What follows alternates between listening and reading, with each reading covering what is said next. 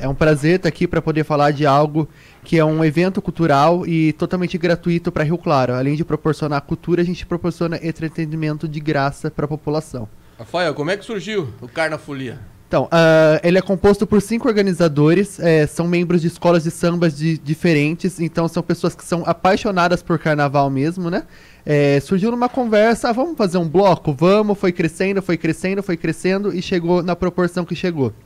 Uh, a princípio seria um carro de som, seria uma coisa diminuída, seria, vamos, primeiro ano, vamos colocar um DJ.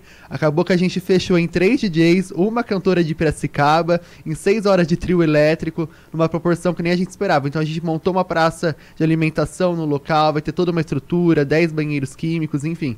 E a gente não esperava que ia chegar nessa proporção. Começou com uma ideia, uma conversa e foi crescendo, crescendo, crescendo e amanhã a gente vai ver o resultado lá na Passarela do Samba. É um bloco totalmente livre, é um bloco que as pessoas podem ter liberdade de como quer, querem fantasiado, pode, querem com uma frase na camiseta, pode. A gente não tem abadá, é um evento totalmente gratuito para a população poder curtir e aproveitar, já que Rio Claro sofre hoje com, as falta, com a falta dos desfiles, né?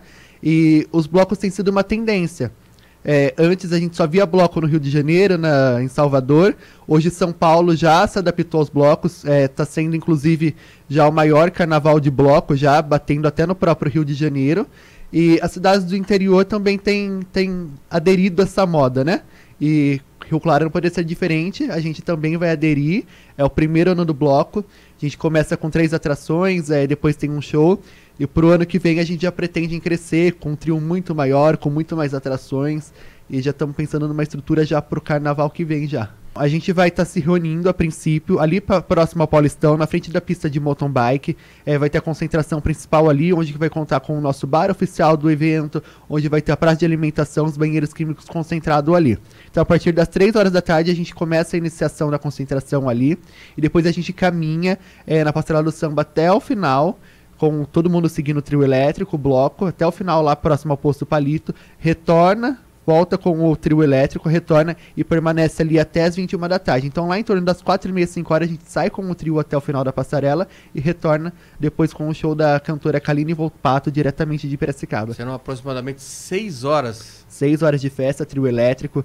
É importante também lembrar que a gente não vai interditar via, vai, o trânsito ali vai fluir normal, é, não vai ter problema em relação a isso em relação ao folião, a gente já está avisando, já, a gente já tem já conscientizado as pessoas nas nossas redes sociais em relação a. Vai poder levar cooler, é também importante lembrar isso. As pessoas, além de ter um bar oficial no evento, as pessoas podem levar é suas liberado. bebidas. Quem quiser levar é sua liberado, bebida pode. É liberado. Então a gente já. É, melhor optar por uma, por uma latinha do que uma garrafa de vidro, lixa no lixo para permanecer o local limpo. A gente vai ter a cooperativa lá com a gente para catar também toda a reciclagem, a gente convidou a cooperativa, mas é muito importante também enfatizar é, essas coisas. Mas é o que gera muita preocupação no pessoal é interditar trânsito. Então, em relação a isso, eles podem ficar tranquilos que não vai interditar trânsito. E é um evento para todas as idades. Para todas as idades. Vai ter música desde marchinha das antigas, sambas enredos, brasilidades, axé, funk, vai ter música para todos os gostos, é para todos os estilos do bloco. Então, só recapitulando, a partir de que horas? A partir das três da tarde, na Passarela do Samba, concentração ali próximo ao Mercado Paulistão.